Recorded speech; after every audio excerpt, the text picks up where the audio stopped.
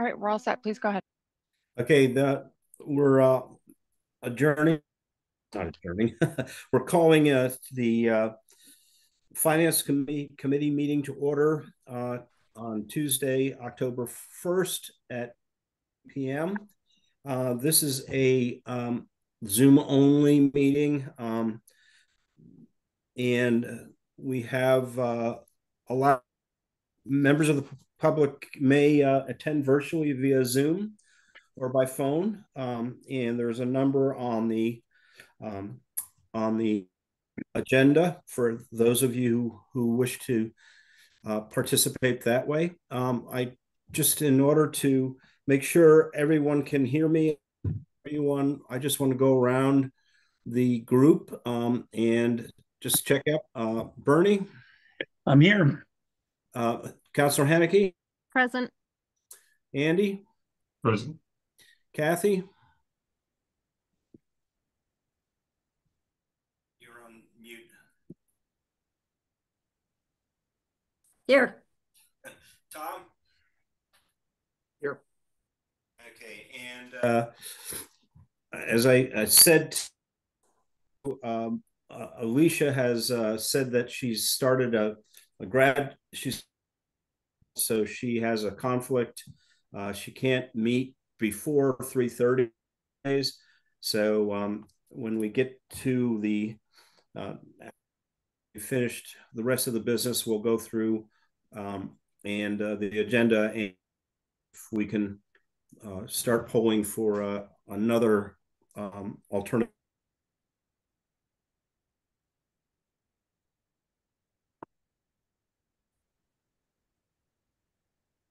there's anyone um, um in... Bob Matt Matt just joined. Can we confirm he can hear and be heard, please?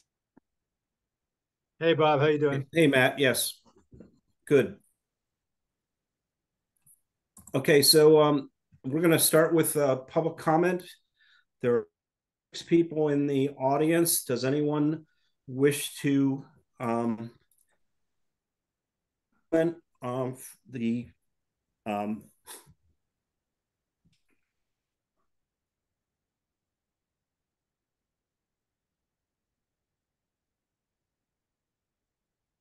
they don't have to focus on the specific agenda for today. I don't see any hands going up. A, then I think we can close public comment period. Um,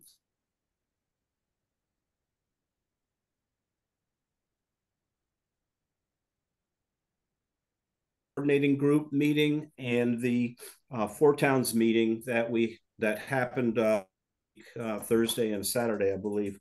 Um, so, uh, Andy, can you uh, recap the co coordinating group meeting, please? I'll do a little and I'll let Mandy take over because I think that she will also have some important comments to make as another member of the committee who is on the budget coordinating group. Uh, the principal uh, discussion began with the presentation of what is um, probably the earliest I have seen in all of my years in, in uh, town finance uh, work of a projection for revenue and expenditures for uh, the next year. So it's an early early start to the conversation, but uh, one that I think was aimed towards uh, trying to uh, have that conversation take place before the Four Towns meeting so that we were grounded on our thinking um, as uh, the Amherst members of the uh, who are going to be present as to what uh, we understood of the town budget so then we heard about the school budget, we could make that fit together. And uh, in the um, presentation, the materials that were presented to you, um, and I hope you had a chance to look at it, there is a copy of that preliminary um, budget presentation. And I noticed that both Melissa and Paul are here to answer any questions about it since they were the ones who presented it to BCG. Um, I, I thought that we had a, honest and um, you know open discussion about the uh, projections and where they might go. We understood without having had a presentation from the uh, uh from the schools because that didn't happen until then Saturday. Uh, so we uh, but we were able to talk about it and um, able to uh, sort of reflect on the extreme pressure that is on the budget because we're not in. Uh, I think that when you look at the, um, if you've looked at it, you realize that our budget um, remains as challenging as it does every year, um, but more so because of a couple of factors that were in there. One is um, health insurance um, appears to be going at a uh, up at a larger rate than uh, had been anticipated, and that uh, that posed a challenge. And I think that was similarly reported during the Four Towns meeting from the school, regional school perspective, uh, presenting essentially the same information but of course, we're not going to know the real rates until January. So even when we have the uh, financial indicators presentation at, uh, to the council, uh, at that point, it'll still be before that information is available. And the other thing that we know about is that last year we could make a 4% uh, um, presentation in the midst of the process, uh, it was February or March, uh, because we knew that uh, we had an anomalous year uh, for retirement, and that retirement uh, is not going to be as favorable this year because that anomaly is not likely to occur, occur again, and uh, there was also the possibility that it actually could be greater because it is a variable factor depending upon uh, the population of who's working for the town at the time that they do the census and the date they do the census. And uh, our, uh, I think we had vacancy at the time that, as well as the date, um, and the two of them fell together in a way that was extremely favorable to Amherst, but um, uh, that means that there could be adjustments that occur in the next year. If I've misstated that, I'm sure that uh, Melissa or Paul will jump all over me and uh, uh, uh correct what I just said. But I think that was the summary that I would have of it, uh, Mandy. Um,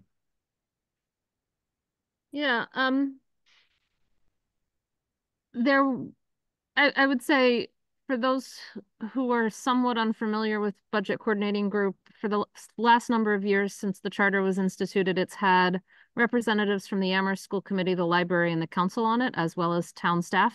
Um, and this year at the meeting last week they added a regional representative. So there was a, a school a regional school committee member that was there specifically to represent the region. Um, that was tillman um, I don't know Tillman's last name, but um, um, it was Tillman, and I think he is from Shutesbury, I believe, um, but maybe it's Leverett. Um, Andy can correct me probably better. It's Tillman, Tillman Wolf. Wolf, yeah. Mm-hmm. Um, I, I would say one of the more interesting parts of the budget coordinating group meeting on Thursday that I thought was Austin from the library brought up, um, you know, sort of a um, how we do budgeting and how we present budgeting to the public. And so then there was a, a, a somewhat involved conversation as to how do we communicate to the public the needs of all town sectors. Um, the school committees with how they do their budgeting seem to do that pretty well. Um, but the town and the library have, and this is not, you know, saying one way is better than the other, but the town and the library have generally thought of trying to figure out how to fit their needs into the budget numbers presented. Um, instead of saying, here are our needs and here's what we need to cut to get to the budget presented. And we had a, a fairly involved conversation about um, how to best communicate to the public that all four entities of the town or sectors of the town are experiencing the hardships that the public is much more aware of in particularly the region, but the elementary school. Um, I think that's a conversation that needs to continue and probably does need to continue at the council too.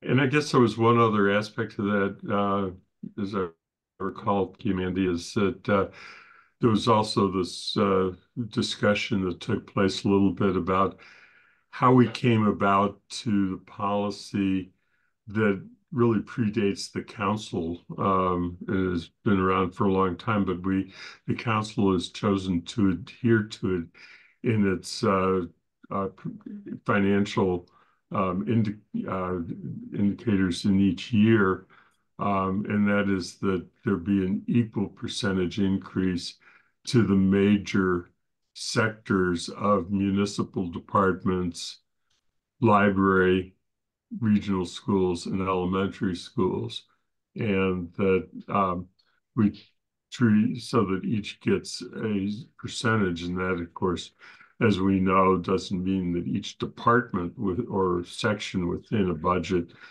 is then treated equally. That's a determination by that sector um, in its own budgeting process. And so there was a discussion of that, um, how we got there, why we got there, and a little bit of, you know, philosophical debate on the subject.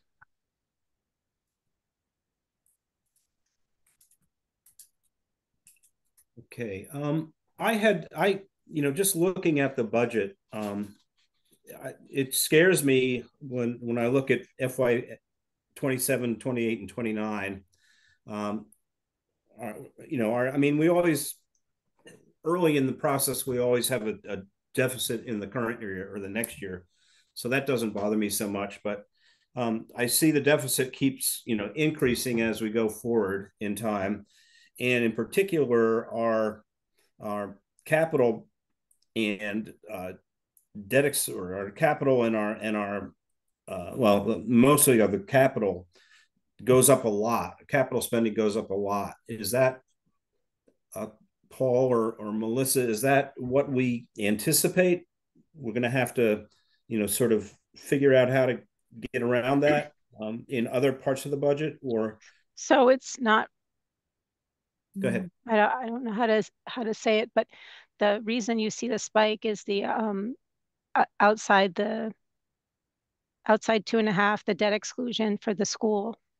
That that's you know over a million dollars in future years, and so right.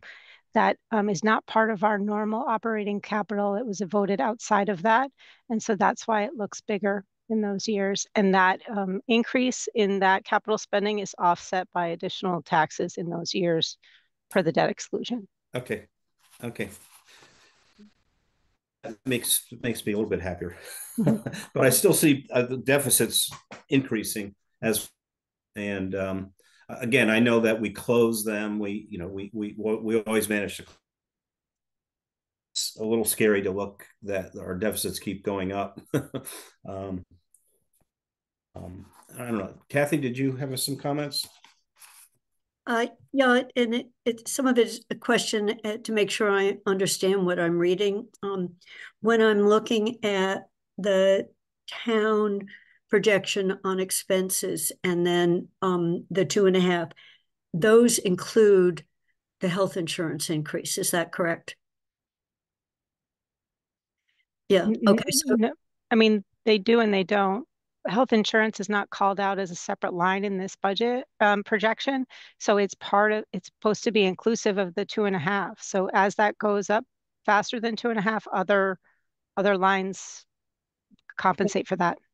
No, and thanks, Melissa, because that's how I was looking at it. So if Mhm. it's two and a half and one part of it is going up by thirteen percent, if you flip that around on what's what the pressure is on salaries, on operating budgets, especially if we put in the contractual uh, obligations of step increases or other wage increases, um, two and a half is a stranglehold, I would say, on across the board, you know, re- irrespective of which department we're looking at. So I just wanted to make sure that was was accurate. And the um there's the assumption Bob focused on capital and you've just basically held the ten and a half percent all the way through. Um Yep, it- that's, what, what I saw. So the school, it comes in with an offsetting amount, but that's, that's a decision. I, I just want to, because I'm going to raise this later. That's a decision we're making that doesn't require to go back and negotiate an, a union contract at all. We, we can, we can, it's we a, can- it's a policy decision that we're forecasting for. Yep. Yeah, it's a policy decision. And then the other one, OPEB, I realize we've had a way of funding OPEB. Um, but uh, we're we're a bit unusual compared to other towns on how much we do. So to me, that is also a policy decision. I mean, but but yes, I realize it has other consequences. I just want to focus on a couple items that aren't completely driven by we employed this many people, they're getting this wage increase, and they have these health insurance. So so I think that line it's it's I realize it's a different kind of policy decision, but it's a policy decision. Um, so would. I think I'll s- I'll stop there because I was doing some what ifs when in relationship to what we heard. right now. Um, so I'll stop. Those were questions. I just wanted to make sure I was reading it correctly.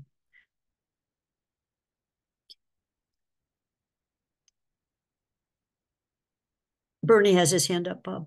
Yeah, I know. Um, I'm, I'm just telling the committee that and the audience that um, my internet connection is a little squishy right now. So people are freezing up. So um, bear with me if, if I freeze up. Uh, Bernie?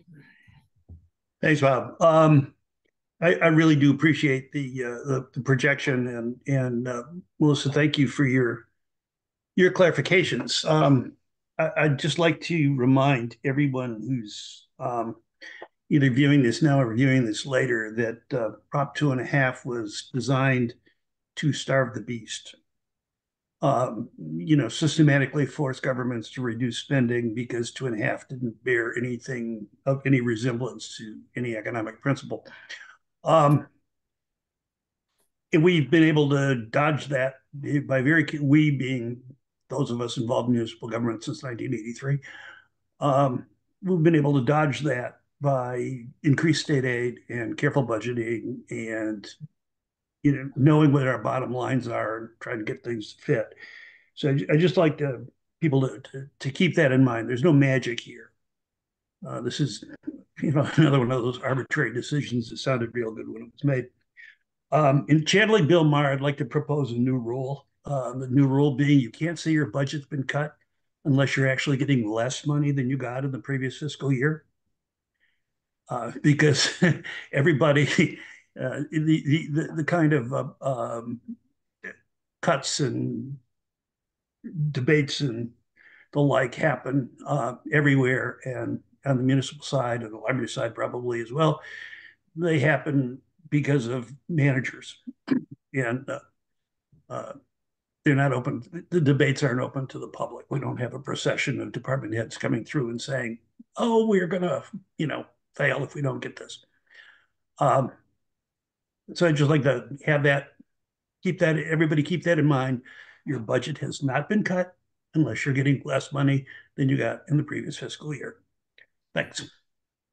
Okay, thank you, Bernie. Like Kathy, did you want to say? Yeah, I d- just wanted, um, Bernie said two and a half was designed to starve the beast. Um, I want to bring up something else that we don't put into the equation.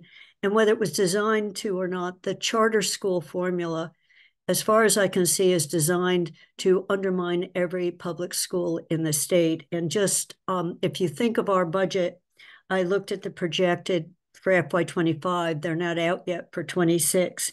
It's taking one point six million from our elementary school and one point 1.6 million, 1.63 from the region. So 3.2 million is not coming to us. And if you do statewide, it's a billion dollars that's being pulled out. So you're you're seeing you're seeing an impact where the state did not increase the amount of money they were going to spend on schools when the charter came in. So us sending 22, 23,000 off for every ch child. And that's that's that's not that many kids. Um, you know, it's 150 kids total. So it's sending out. So it's it's another thing that I don't think the charter folks who wanted charters would have said it's designed to undermine public schools but the impact of it is doing it in in school after school. Um, so I I realize that's outside of our control, but it is not outside the legislature's control. And it's it's a billion dollars uh, that wasn't put back into the rest of the school system that's moving out. Um, that's essentially funding other schools. So I just want to, when we're looking at this, that's something that's been happening for a decade that we see particularly in the school budgets. And the schools are unusual for that. We don't have the same kind of state policy decision directly affecting other parts of our budget. And it hit it hits all of us because the schools don't have that state support anymore. So I will stop there, but it's a biggie. Yeah. Real quick, I disagree with Kathy on one thing. Uh, I, I think the charter school reimbursement formula was is designed to damage public schools and to drain money off um, from public schools to private schools for the very, benefit of very polite for the benefit of, for the benefit of some very uh, privileged people. Um, and that seems to be what the economics of it are. Uh, it also doesn't take into account the incremental costs of uh, of educating a student. Um, it, it takes a it takes a chunk of money out. Uh, it's an average that not the increment. Uh, so it's it's doubly unfair. So.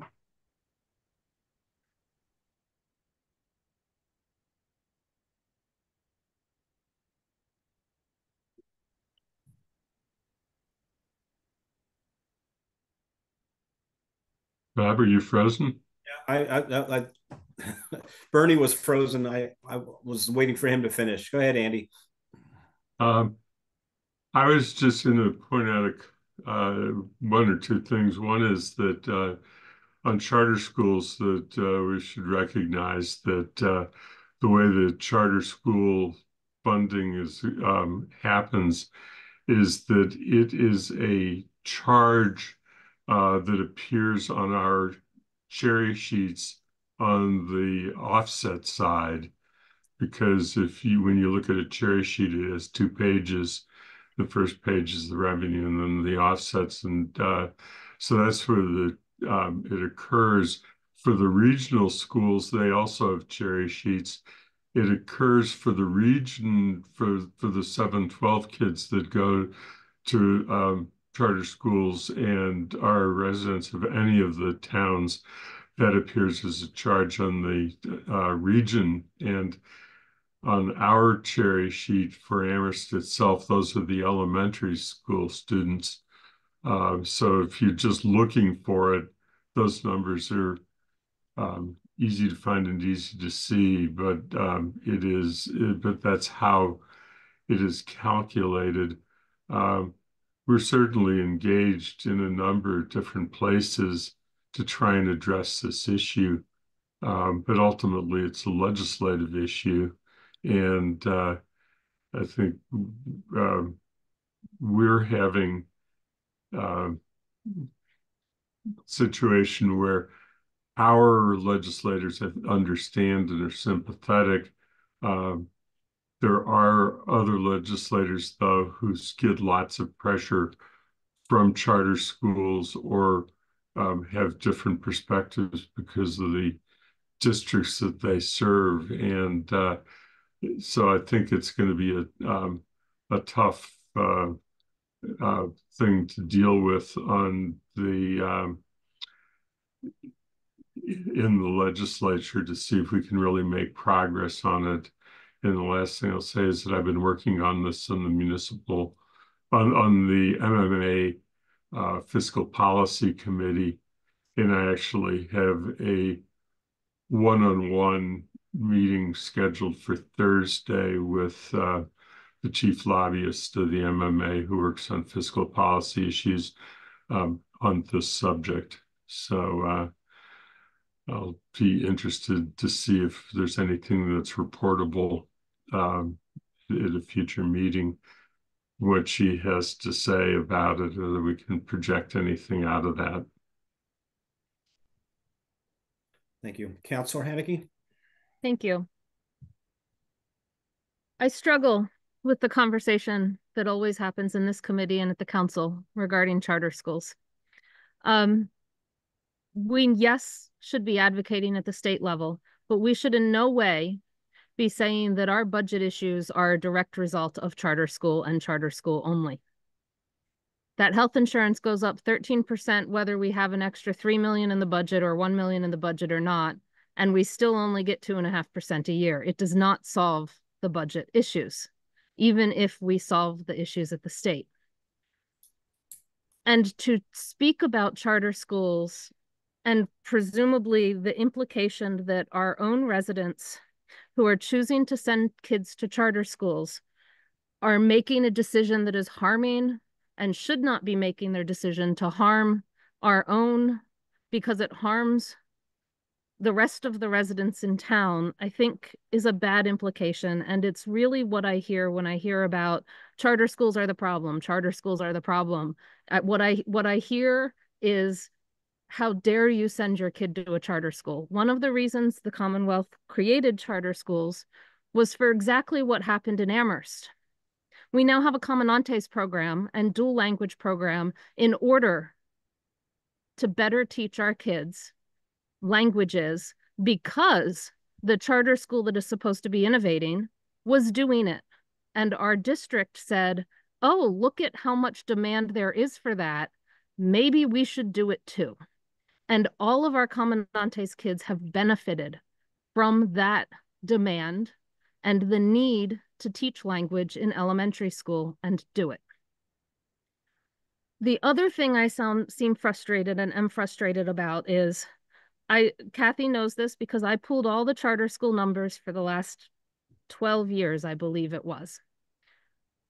And how many Amherst was sending from the state. I've been in this position for six years, and even before that, at the region, all of the comments always focused on the Chinese immersion charter school.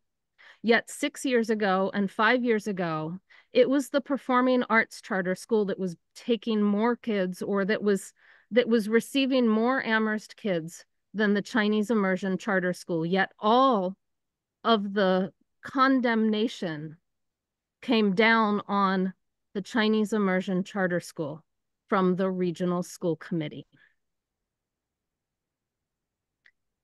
And it's hard to not see and listen to the conversation about charter schools when nearly the only charter school that is ever mentioned is a charter school that teaches an Asian language and has a large and in frankly the highest percentage of non-white students in this area.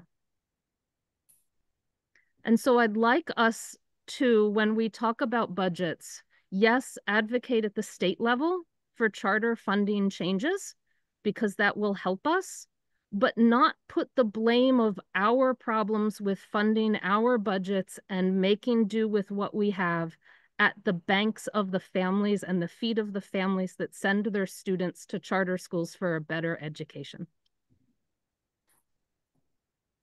Thank you, Councilor Hanneke. Uh, Kathy?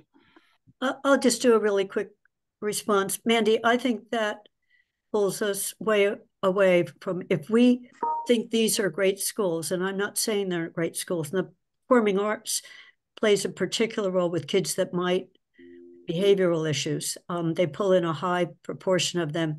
The state should just be funding them. It's the issue is funding. Um, if we spent a regular five thousand dollars for school choice to the charter schools, they would have to find money from other sources. It would be a huge savings to us.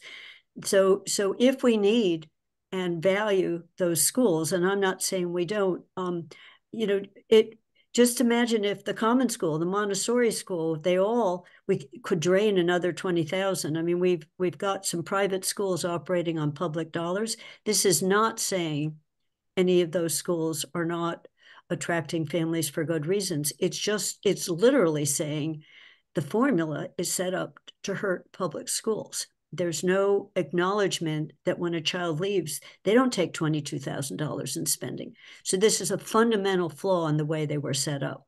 And the state legislators could set up a line called charter schools and they could supplement the budget. There's not, because they're not district based, they're not the same obligations that we carry with some of our kids, but they do have an open lottery and they take kids who they may or may not be able to serve as extensively as we do in some categories, but you can just see what is happening. So I am not in any way saying that a family is not making a good choice for their child. I'm saying the state has made a very bad choice for the way we're funding them. And it's it it's hurting when Andy, when you said building a coalition on this, the number of towns that are being hit by this now is huge. Um, so yes, you can't go in just as one town, but multiple towns are being hit by this. When we're looking at all of our region, whether it's Northampton, South Hadley, but if you get into the Worcester and other areas, you're seeing it as well. So my only point was there is an outside force. When Bernie said two and a half is capping us, I said there is this other that is it has made municipal budgets uh, very, very tough. Um, and it's happening in the same time period. So it's it's at the state level. I understand that, but it's it is a a really poor funding formula that that we're living with. Bernie? Yeah, not to prolong the discussion that much further, but I didn't mention any particular charter school. I said charter schools, plural. Uh, and that was aimed at the funding formula. And I thought I made that very clear that it's unfair the way that mm-hmm. public schools are tariffed for, for charter school tuition. I think Cathy's right. If the state really wanted to have um, a, a robust alternative school system, they should fund it. And that's not to say that I happen to be very fond of the performing arts charter school. I was at one point asked to be on their uh, board of directors and declined. Um, I have no problem with the Chinese language uh, immersion program.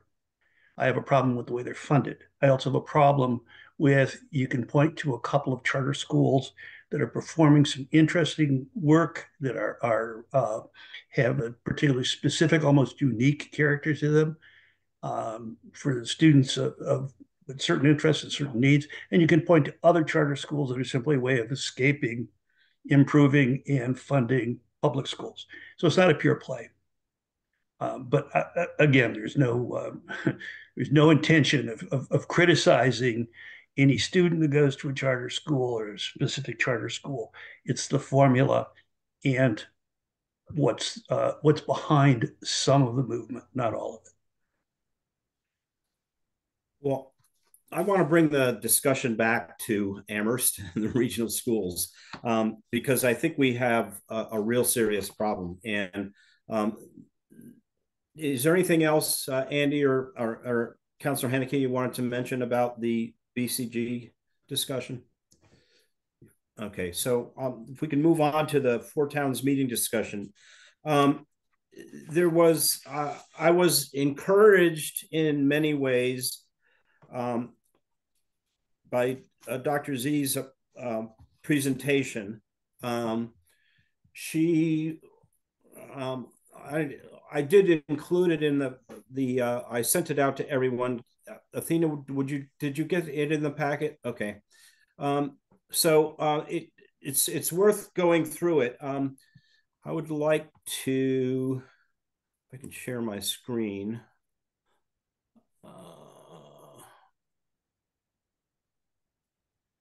Bob, if your internet is unstable, um, it okay. might it might be a burden on it, but I can okay. pull the document. If you could up. pull up that that, that presentation, I just want to focus on a couple of pages on that. Um,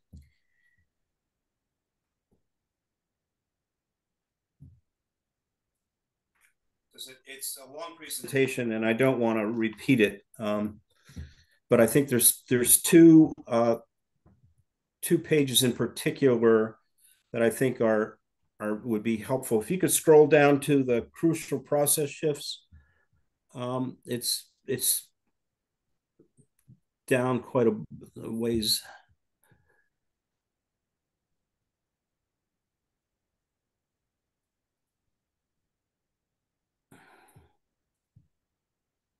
Yeah, that's it. So um, the superintendent uh, basically said uh, was not a big fan of level services budgeting because uh, it just basically maintains the status quo um, and it doesn't really address um, students changing students needs. Um, she wants to move this year to a line item budgeting process which uh, will break it down uh, but it doesn't really get to where she wants to get to what she really wants to do is in the second set of bullets, uh, shift to a performance based budgeting. So, budgeting uh, to um, directly to measurable outcomes uh, such as student achievement, attendance rates, or graduation rates. So, in other words, focus on the students, and the budget should focus should follow what the students' needs are. Um, and um, so I think uh, she wants to uh, shift to that, and it's going to take a year or two before she can get there. Um, the other thing that she brought up, and it was there was a story in today's paper about it, was um, she wanted to um, she wants to close or move the, the students from the middle school to the high school. Um, and so the high school would then be basically a, the regional school, uh, grades seven through 12 and um, she wants to save money um, by doing that. She can reduce uh, spending by something on the order of $2.3 million. Um, and that won't quite get us there, but it helps a lot in terms of, of um, where we wind up. So if you want to, Athena, go down a little bit to the, the next slide with the scenarios and the surplus and deficit. And this is all the different uh, ideas she had about how to reduce staff. Um, this is it. Yeah. So um, she presented six scenarios.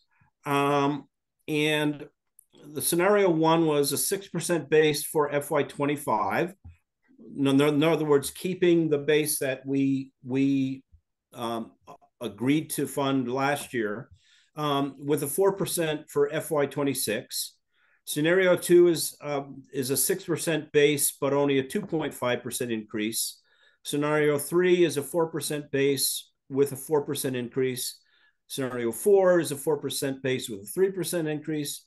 Scenario five is a 4% base with a 2.5% increase.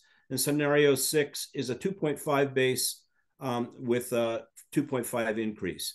Now, we should say that scenario five is what you saw in Amherst's budget um, for FY26. We had a 4% base and a 2.5% increase. And you can see the bottom uh, here, she has uh, put in this 2.373 million uh, that she can save with consolidation, and um, the um, the net is that scenario one is the only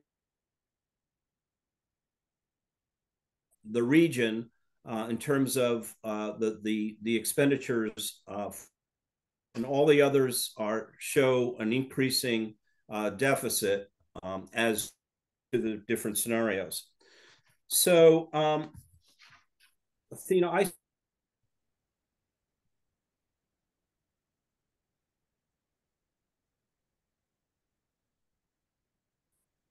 what I did on the spreadsheet was look at what the impact Amherst's budget would be. Um, if you don't have it, You cut out for just a moment, Bob. Did you want me to pull something else up? Yeah, could you, oh, sorry. Um, I said to have a spreadsheet. Um, Got it. Could you pull that up, please?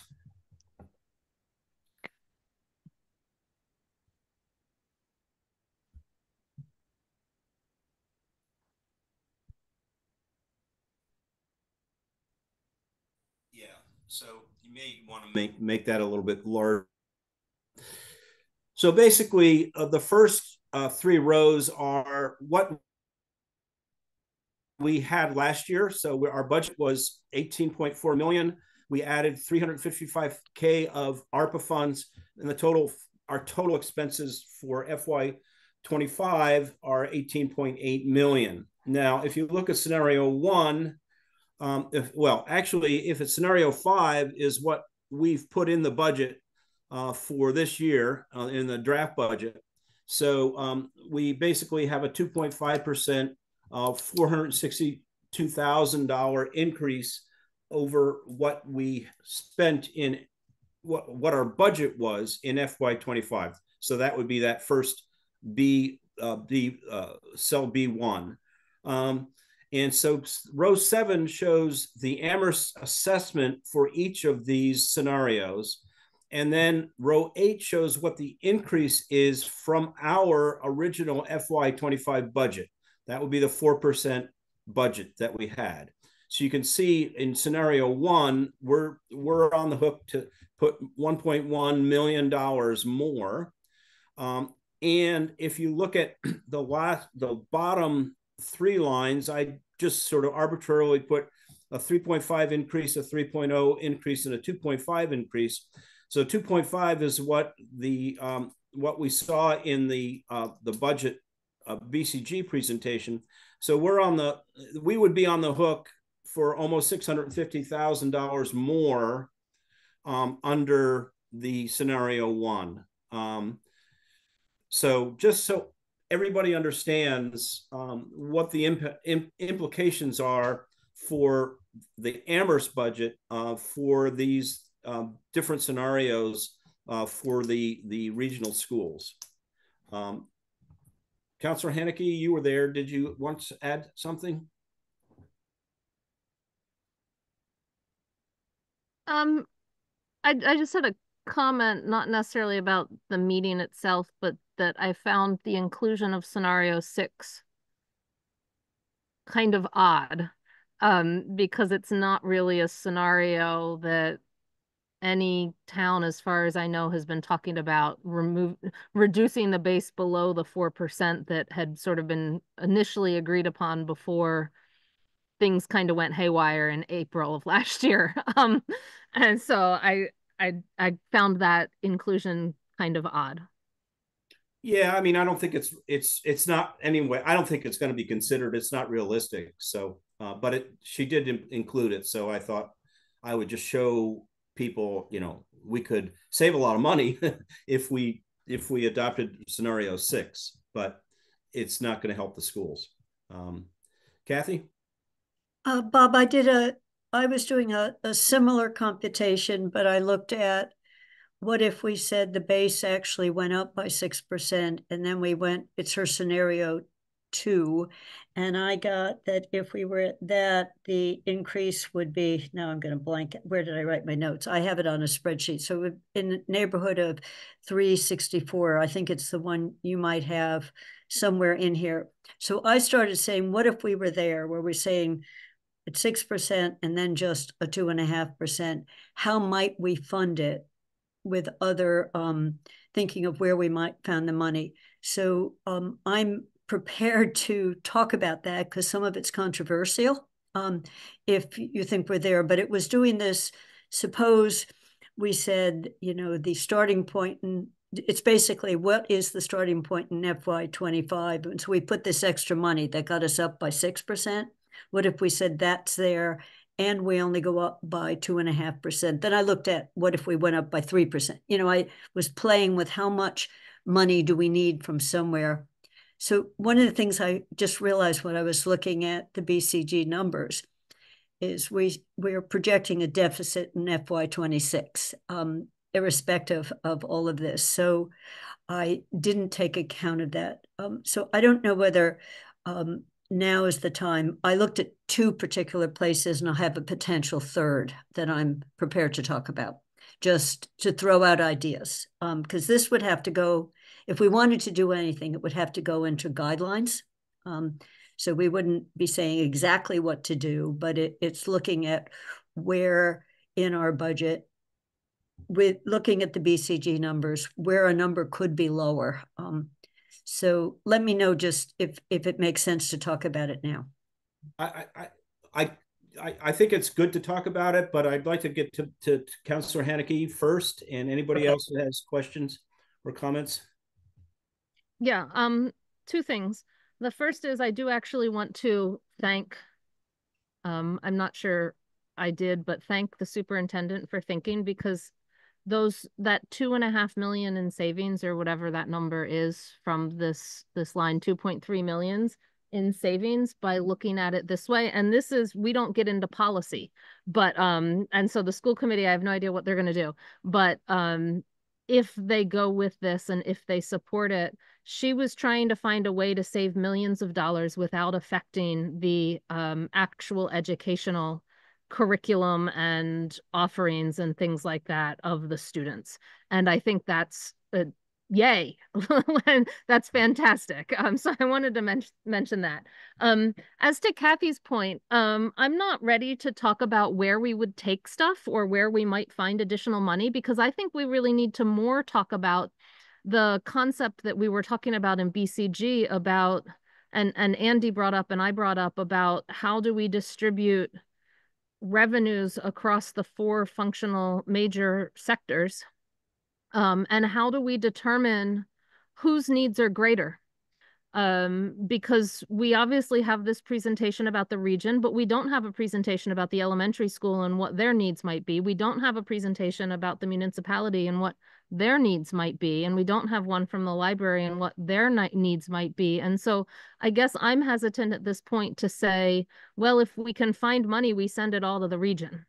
Um, you know, I think we need a conversation about uh, and a serious conversation with more information about how are we divvying up that pie and where are the needs that are not being met now across all four areas? Okay, thank you. Uh, Andy? Yeah, I guess there are a couple things. One is that uh, I too was very uh, um, pleased with the superintendent's presentation. For years, we have been saying in the finance committee that beginning every time with a level services budget is not uh, a good business principle and not um, equivalent to what other segments of the uh, town budget, um, the, the, the expenditure sides of the town budget are doing. And um, we just uh, were blown off year after year as saying, oh, it's a common thing for schools to do it this way. And, uh, you know, what we were looking for was somebody who would think outside of that box. And I really appreciate that Dr. Z is doing that. And um, so I, you know, I think that uh, we owe her a big thank you for coming in and taking a different view and putting forward a different view. Uh, the other thing, though, um, is that we need to remember that the uh, initial presentation that was made at the budget coordinating group for FY26 revenues and expenses, as noted, is extremely early in the process. Um, and uh, uh, it's not unusual that um, there was, when it's presented at the financial trends meeting, which is usually a little bit later, uh, but not that much later, it's still, we lack a lot of information because we really don't know um, where a number, a lot of those numbers are going to come from, and it's a best guess. Uh, and so what happens um, each year is is that as there is shifting, uh, because uh, a lot of those numbers um, are done historically on a very conservative basis. That some of that deficit that Bob was talking about earlier for the current year and future years tends to close over time just because when real numbers come in, they um, it, it takes care of some of it, not all of it, but at least it moves us in a direction, uh, and that's how the processes work. So, um, and I say that because uh, this is a helpful conversation to have to get our heads around what it is that we're going to have to do. But this is very preliminary. This is an awfully early stage to be having um, an actual discussion where we say, oh, we can't accept this or this is the only thing we can accept. I don't I don't think it's fair to anyone to do that.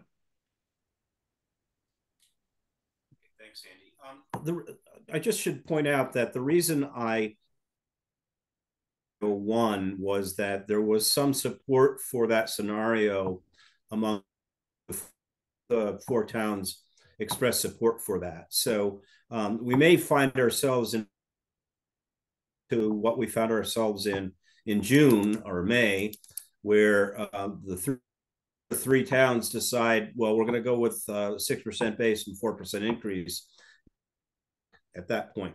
So um, I, I, do think that um, be thinking about what we're going to do if that comes up. Have to react to react in real time to that. Um, and thinking, but again, we're talking about almost six hundred fifty thousand dollars in order to is what we have proposed basically in or for our FY26 budget. Um,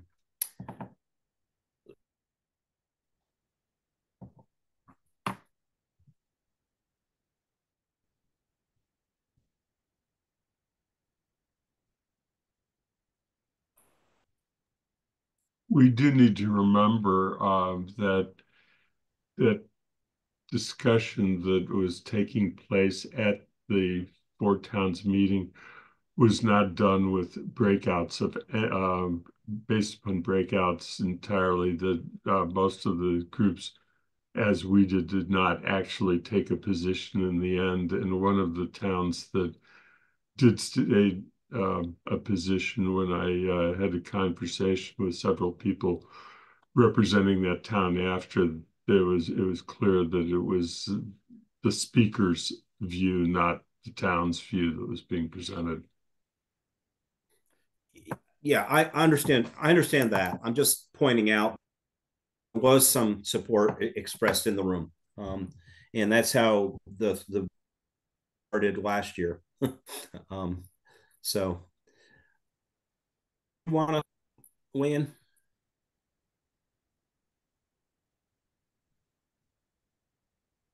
I I didn't hear you who you called on. Um, did you want to? Yeah, I didn't think he heard. Yeah. Weigh in. Sorry. Yeah, you. It was a frozen moment. I didn't hear my name. Sorry, Bob. I hope you can hear me. Um, I, I, didn't get to attend the meeting uh, on Saturday, but I really appreciated seeing the materials and, and hearing your briefing on it. It's I, I feel like, and I haven't met our new superintendent yet, but I, I commend her courage, uh, her frankness um, at this point. Um, she's got to think about it. She's got to think like a turnaround uh, executive. Um, it, this is a turnaround situation, whether we call it that or not, because we have a what looks like a, a, just a not sustainable in the literal sense. So the, the school budget, when you look beyond a few years out, I know we've gotten along year to year. And I, am I'm, I'm an old man who went to public school here and I put, put my kids through public school here. So I've paid attention to it for some time. But, you know, as many of you have said, we, we can't really live within the three, the 2.5% stricture, uh, although that's ostensibly the law we, we can't afford to lose students and money to the charter schools. Uh, although that's the law too, that's the dollars follow the customer. And our customers are choosing our competitor. Um, so I, I did have a question, and this isn't on the charter school side, but um, I saw in the presentation she gave that she she made the comment that um, we want to give our students the best, but you know, in looking frankly at things, can we can we at least afford to give them the basics? And I think I really commend her her uh, pra- practicality in saying it that way. But as an Amherst person, it breaks my heart to think that we have to make that kind of a uh, a concession. So I was really excited by what I imagine she means when she talks about performance based budgeting.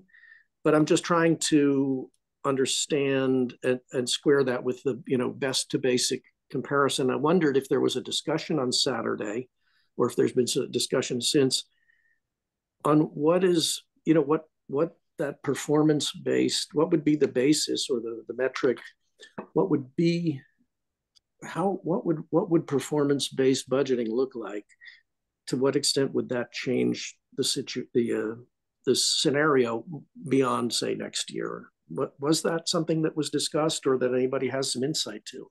It, there was a really brief discussion and questions and since she's at, she said, you know, I'm at a really beginning stage thinking about this, and she was doing it at the individual student level, allowing them to pursue what they want to. But they people asked, "Are you talking about MCAS scores? Are you talking about test scores?" She said, "Not necessarily. I'm really talking about a whole system. That's how well are we doing for the kids." And I think that's the beginning of a big conversation with the regional school committee. You know, not to mention with the teachers. You know, in terms of kind of everything's on the table. She talked about scheduling. Are we doing scheduling right? Are we losing time during the day? Um, what's the flow of kids look like? And, and you're thinking this is a person who's jumping into something um, with uh, with it swirling around her. Um, so I just, you know, I, I think it was um, a breath of fresh air at the entire beginning of the conversation, you know, and even the simple thing like let's move them all to the high school. That's not easy you know, and and so the questions we're talking about moving the sixth grade into the middle school. Are they going to be there alone? You know, I mean, it's you know, there's there's so many moving parts that without a lot of time. Um, so you know, my I went back. I know Mandi doesn't want to have a larger budget discussion now, but I think we have to. And I wasn't saying make a decision just about regional schools, but I looked at places that are policy decisions, like the capital. We don't have have to spend 10.5. So I said, what if it was 10.3 or 10.2? You know, what's the difference? We don't have to spend as much on OPEB. What if it was 100,000 less? What if, and then this is the one that everyone's going to gasp at. We have, I think, one program that so far has not been working well. It's called CRESS. And what if we went back and reevaluated the basic model and said for a while their vacancies in the as i understand it froze a couple positions so had two fewer people. What would that savings be? And roll it up with benefits. So i was looking at within the general fund budget and others and mandi just so you don't jump on me i wasn't thinking it all goes to the region you know but it was really like these are areas where we could if we took a hard look at it be asking the manager to give us something back. Um, and and i was just saying how much how much is that one? How much is this one? And so i can get up to $400000 you know without you know slash and burn um, which is certainly helpful. You know and i'm thinking of every single budget. It doesn't matter whether we're talking about dpw or the library or any of our subs that have a lot of people. Two and a half is is um, with a 13% health insurance is is a nightmare. Um, because that's not salary increases i think are pushing up a good three or four percent a year not counting benefits. So underneath it it's not if i do steps you know if i do steps it's not that people got those increases. So this we're we're at a point of making extremely difficult decisions and though Andy keeps saying it's very early guidelines, we're supposed to have guidelines by the end of this year, by the end of November, ideally, to talk about. And then Paul has to wrestle with all of this. So having some of this discussion, Bob, in October on where do we think, because we would have to not say, do this with the general, you know, general staff. We would have to say, here's how you could do it with the general staff and not slash and burn our departments. Um, so we have a lot of one person departments. So I didn't go there. I went to where do I think if we change the model, and I'm willing to have a larger discussion on CRESS because I think maybe we made the wrong decision at the beginning and we could do some corrective moves. So I will stop there because I don't want to get into the numbers, but I was doing what Bob was doing, uh, what ifs, um, and here are pockets of money.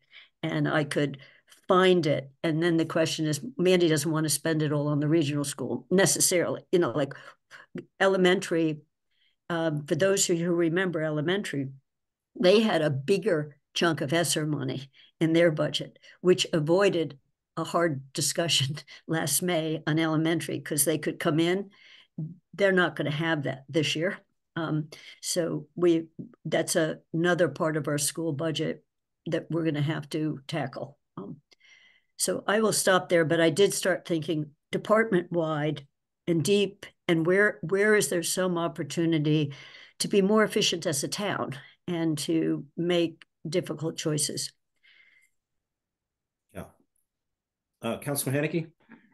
Yeah, um, I, I guess, uh, Cathy, um, yeah, to, to some of that, but um, I just don't want to focus on where would it all go right? Um because i think we need that conversation separate from i think we need to separate the two. Yes we need to have a conversation that relates to financial guidelines on where might we trick out a little bit more money or guide the manager in tricking out a little bit more money on the on that sheet.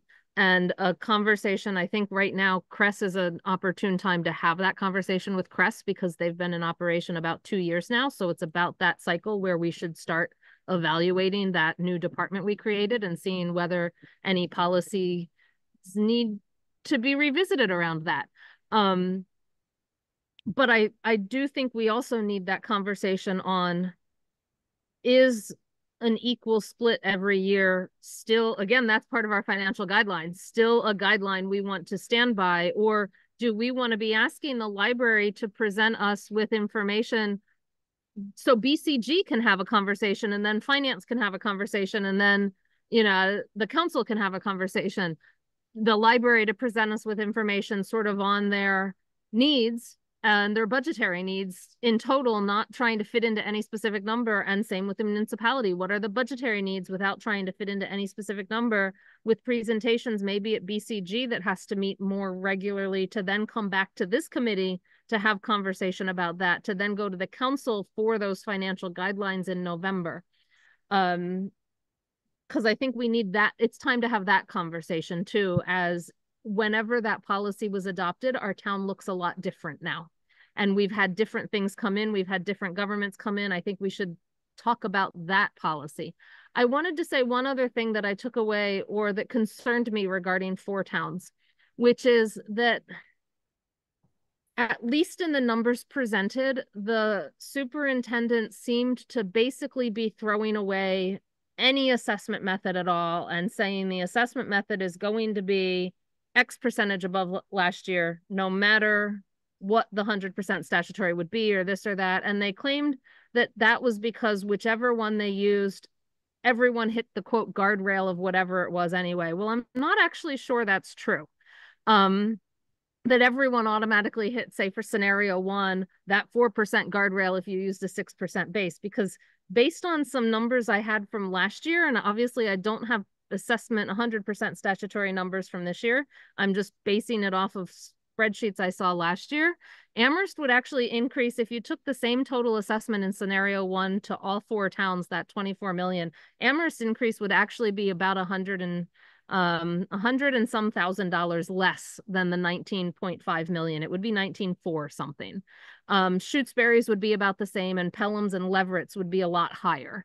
Um and so I don't I I think we as a town need to again have a conversation about where we stand on where the assessment should be, where the guardrails should be, if we're going to support guardrails and all. And I think we need to have that conversation a little more, a, a little earlier. Um, because we just need to talk about how each town funds its assessment and whether we still support the state method or we support something that it seems like the superintendent might be going towards, which is a two and a half no across the board or a four percent across the board, which sort of sets those percentages at what they were last year. Um, that never relooks at what those percentages are in a sense. And again, that goes back to our two and a half every year to all four sectors. But did we even set those percentages at a correct one if we go to that? Thank you. Uh, Bernie? Yeah, I um, was sorry I missed the Saturday morning meeting, but when I sort of found out about it late, and two, I was pulling junk out of the Fort River uh, um, as part of my um, Fort River uh, uh cleanup efforts. Uh, how Amherst comes up with an initial division of where the new money goes is um, sort of an anomaly. Uh, and, and, I'm not saying that we need to necessarily abandon that, but I think we need to come behind it and say, this is where we start. There may be some flexibility to, uh, uh, given certain exigencies, certain things that have happened. We may have to start off dividing the money that way, but but we may have to come back and make make changes as as the budget goes on to make it a little bit more fluid.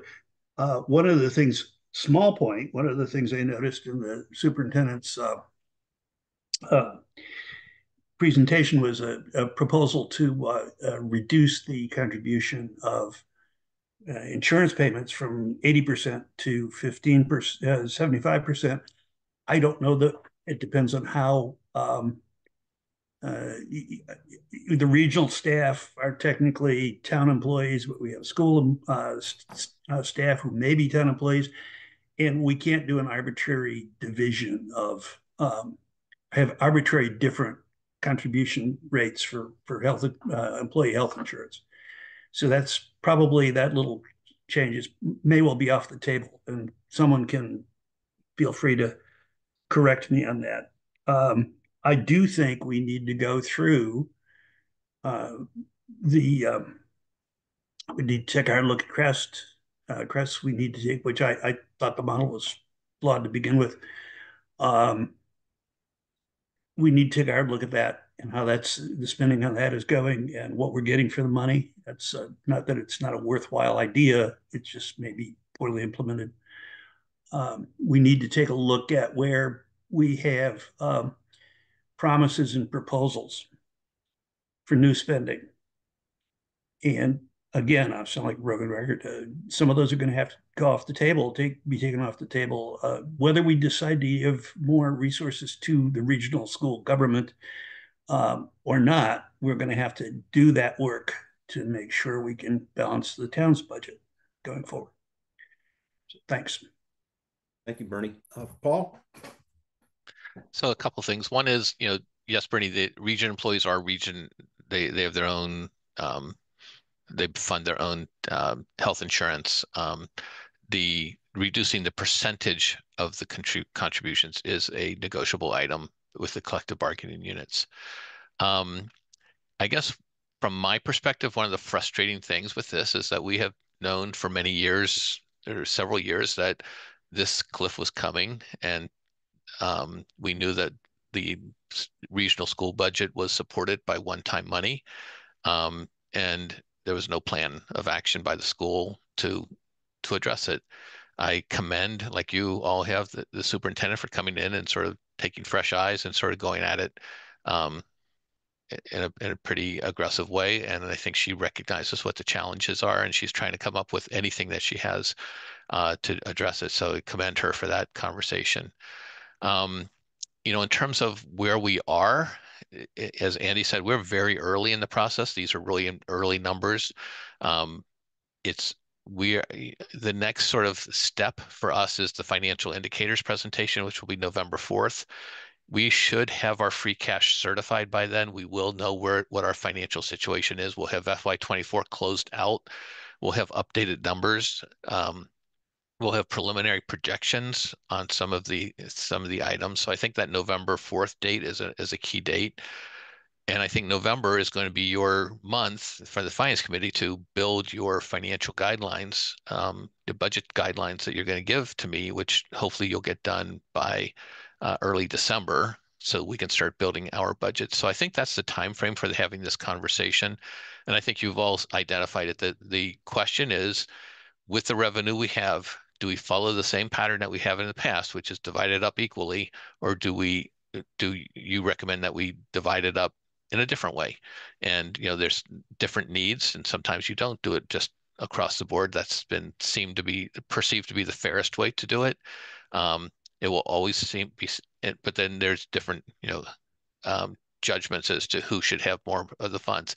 It's a it's a we, we can't expand the pie. The pie is what it is. It's just a matter of how you divide it up. And that's that's where the guidance from the count council is key because you're the ones who will need to say, here's how we want you to divide the pie up. And that's that's the the mega decision that has to be made. So uh, so I, I think this conversation is important to have. I, the school district will continue its work. We'll continue to work with the district, um, but you know, until we can cl close out FY24, get you the financial indicators, um, and have, then I think expect November to be a pretty heavy conversation month. Paul, are we going to when fourth quarter results or the fourth quarter numbers?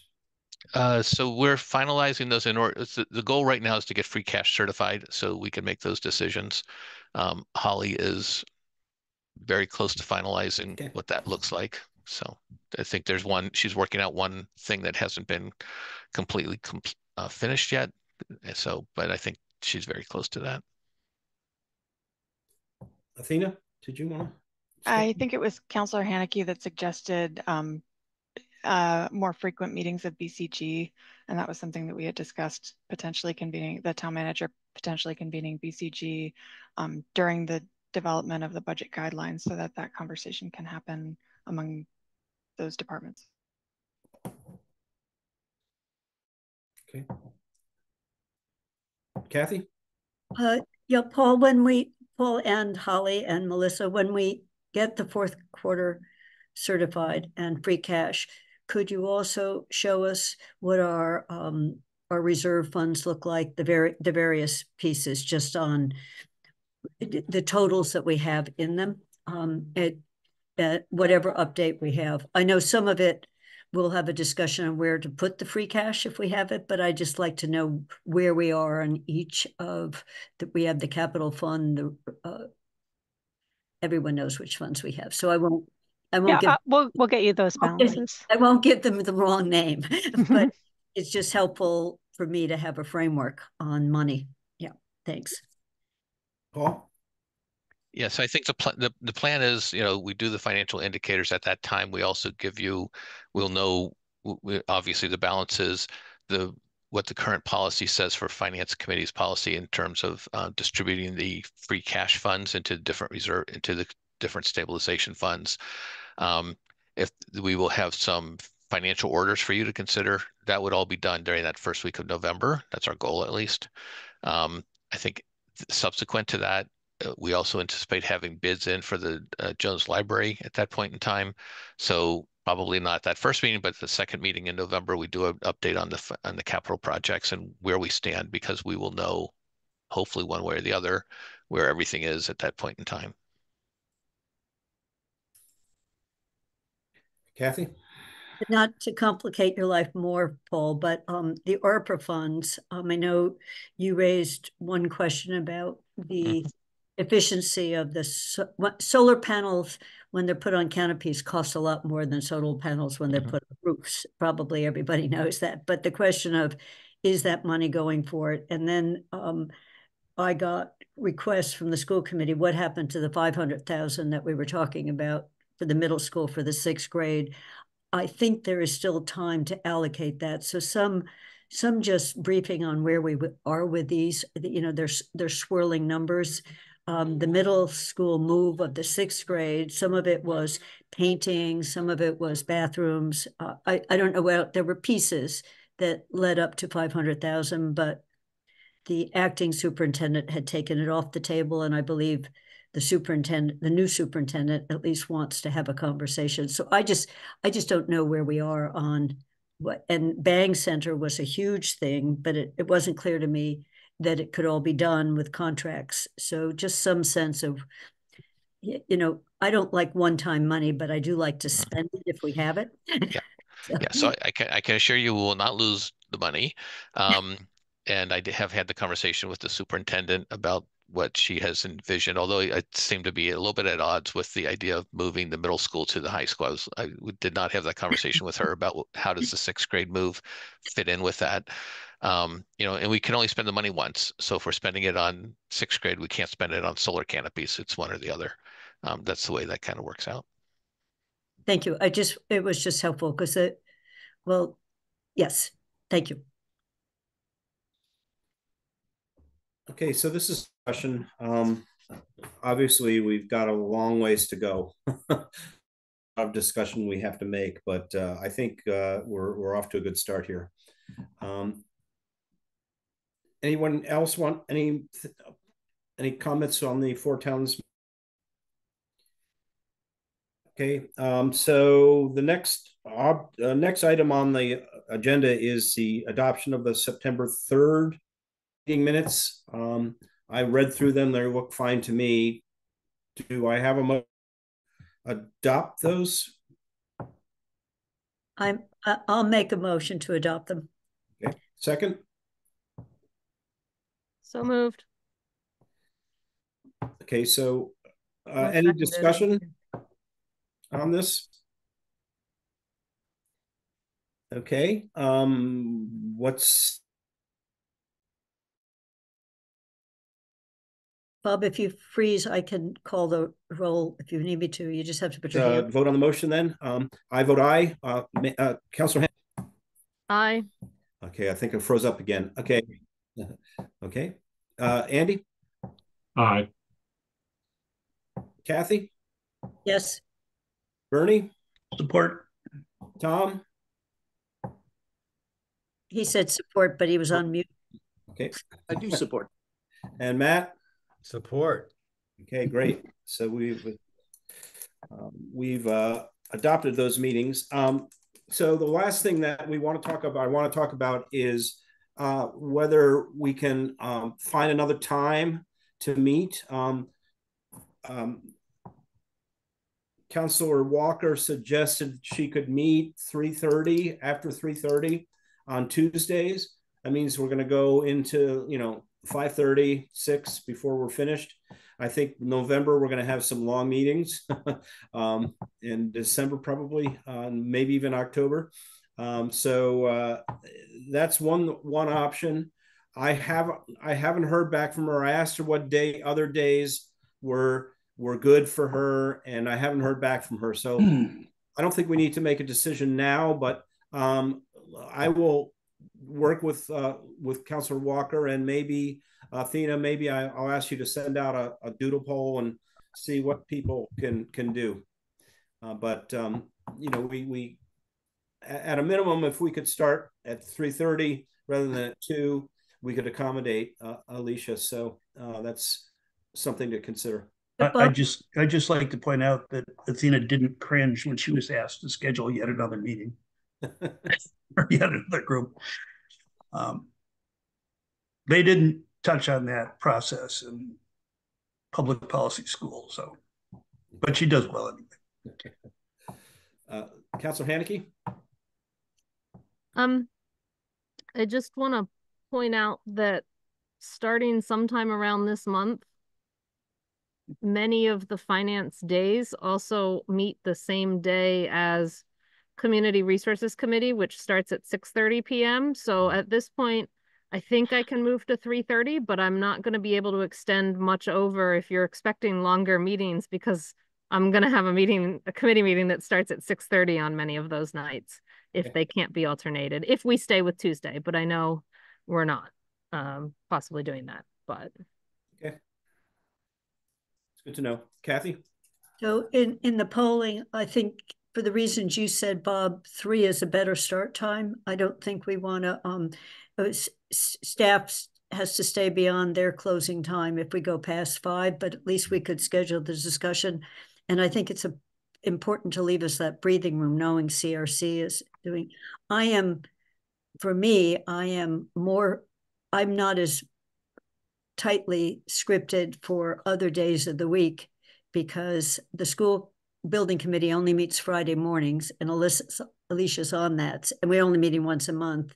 And the one other one I was on is joint capital planning doesn't start till February. And I don't even know if I'll be on that again, but I think starting later in the day is just not a, than three is not a good idea.